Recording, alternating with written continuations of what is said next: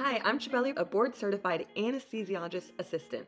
Welcome back to our series on the pros, cons, and unique aspects of the anesthesiologist assistant profession. If you're new here, don't forget to hit the like button and subscribe for more engaging CA content. In today's video, we're diving into a highly requested topic the safety of anesthesia and the immense responsibility that comes with it. Let's explore the critical aspects of our role. As anesthesiologist assistants, our decisions hold immense weight with the potential to profoundly impact a patient's life. This responsibility can lead to burnout. I do my best to decompress when I have a string of rough cases or rough days through exercise and by leaning on my support system. My support system includes my partner, my family, and my coworkers and former classmates who are experiencing the same challenges. I've heard of stories of providers and students administering the wrong medication, which can have severe consequences, even leading to harm or loss of life. As scary as these scenarios sound, there are safety measures in place to prevent these scenarios from deteriorating further. There are universal systems that are in place. For example, drug classes are differentiated through different colored labels.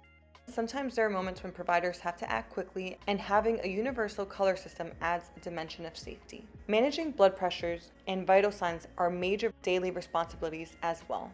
But we have alarms and monitors and machines to assist us and alert us if vital signs deviate from normal limits, such as the patient not breathing or abnormal blood pressures and oxygen levels.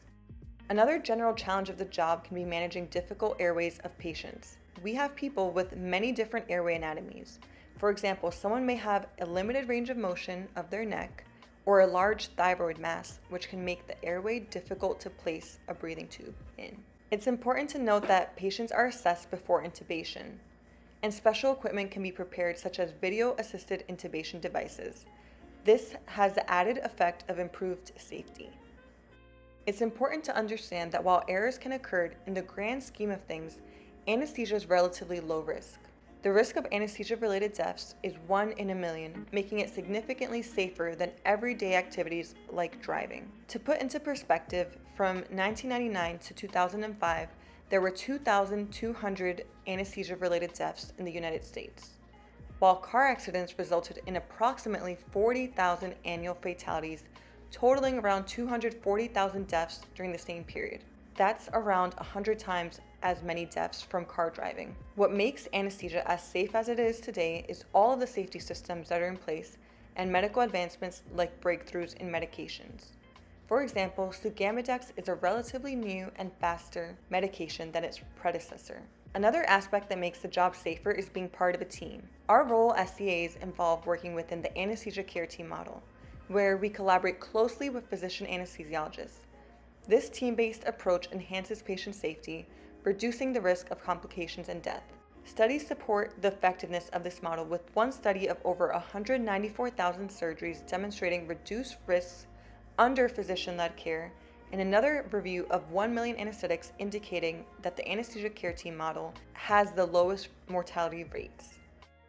As a CA, I'm grateful to be part of a team led by physicians. I have the ability to collaborate and consult with physician anesthesiologists when needed for critical cases. We implement safety systems daily to prevent errors and encourage our students to prioritize correctness over speed in order to avoid the development of bad habits. Every day, patients trust their lives to anesthesia providers, and it's our continuous duty as CAs to uphold the highest standards of care. That's all for this video. Thank you for joining me in this vital discussion. If you found this video informative, please share your thoughts in the comments, subscribe for more videos like this, and stay tuned for the next video as I continue to explore this profession further.